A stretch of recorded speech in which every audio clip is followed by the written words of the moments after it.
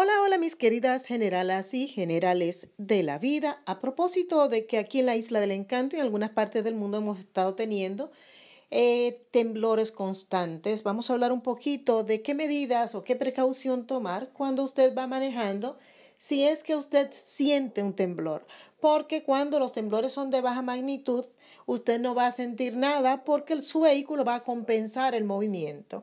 Pero podría ocurrir que usted va en la carretera y comienza a notar un movimiento inusual en su vehículo. Usualmente cuando el temblor es de baja intensidad no va a ocurrir, pero si su vehículo experimenta un fuerte temblor, probablemente sí va usted a tener que tomar unas medidas de precaución para evitar que se pueda convertir esto en una situación donde puedan haber personas dañadas. Esta información la traigo repito, a propósito de la situación de los temblores constantes que tenemos en la isla del encanto, pero es aplicable a cualquiera de ustedes que esté en algún lugar donde esté teniendo la situación de los temblores. Así que vamos eh, paso a paso a mirar qué es lo que corresponde en estos casos. Así que quédese a ver el video antes que reiniciemos con esta data. Quiero decirles que estoy muy agradecida de su visita al canal y que espero se quede por aquí. Usted puede aquí opinar, usted puede sugerir eh, dentro del marco del respeto. Vamos a pasar a la información. Quédese por ahí.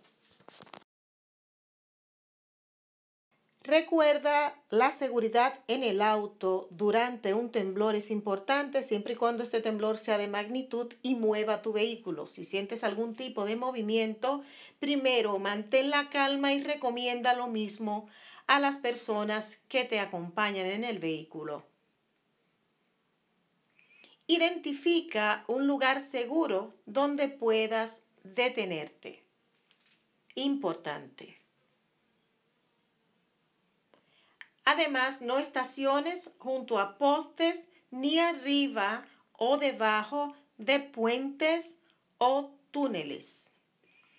Cuando encuentres un lugar seguro, apaga el auto, pon el freno de emergencia, no te quites el cinturón y enciende tu radio para que sepas qué es lo que ha ocurrido. Ahí puedes saber qué magnitud, en qué área y tomar cualquier tipo de acción que tengas que tomar. Importante. Recuerda siempre que debes tener tu mochila de emergencia en tu vehículo, una mochila por cada miembro de la familia. Lo otro es que si permaneces dentro de tu auto o no, depende de ti y de la intensidad que haya sido el movimiento. A veces es mejor quedarse dentro para protegerse de objetos que caigan. Si te quedas dentro, mantente con el cinturón por si tienes que arrancar con cierta emergencia. Esto puede ser en caso de que haya un aviso de tsunami, estés en área peligrosa de tsunamis. Tómalo en consideración.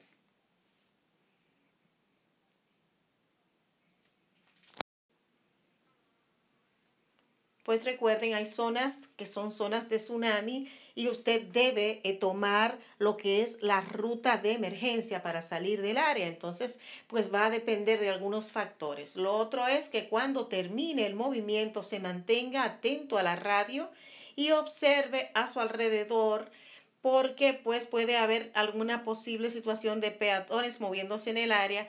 Espera unos minutos antes de volver a conducir y sobre todo, factor siempre muy importante al que yo hago hincapié aquí en el canal, trate de mantener la calma. Haga un esfuerzo por mantener la calma ante las emergencias porque si usted desespera probablemente va a tomar las decisiones erradas.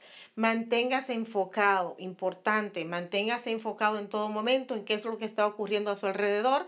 De ahí la importancia de encender su radio, ver cuál es la situación que se está dando en el momento y cuáles son los pasos a seguir. Esta información me parece sumamente importante. Es una información que quiero compartirles. Recuerde siempre, preparados, preparados siempre. Peace and love.